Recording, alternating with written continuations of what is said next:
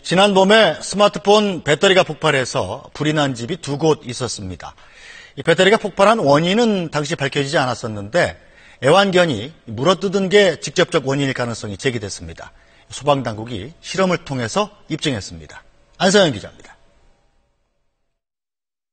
지난 5월 서울 강동구의 한 다가구 주택에서 이보다 한 달 앞서 강남구의 한 빌라에서도 스마트폰 배터리가 폭발해 불이 났습니다.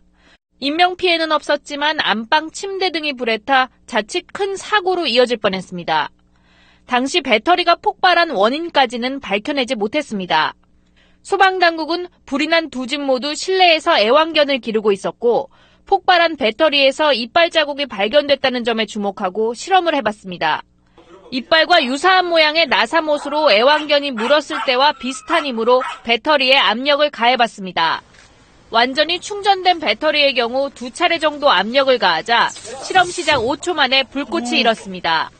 충전 중인 배터리는 세 차례 정도 압력이 가해지자 요동치며 하얀 연기를 내뿜었습니다. 날카로운 물질로 충격이 가하면은 배터리 내부에 음극과 양극의 차단해준 분리막이 손상돼가지고 음극과 양극의 접촉에 의해서 스파크가 발생하고 발열이라든가 폭발이 일어납니다. 애완견이 물어뜯어 배터리가 폭발했을 가능성을 입증하는 결과입니다. 다만 방전 상태의 배터리에선 물리적 충격을 5차례 이상 가해도 폭발이나 불꽃 반응은 나타나지 않았습니다. 소방당국은 이번 연구를 토대로 애완견을 기르는 가정에선 애완견이 접근할 수 있는 곳에 휴대전화 배터리를 두지 말라고 당부했습니다. SBS 안서연입니다.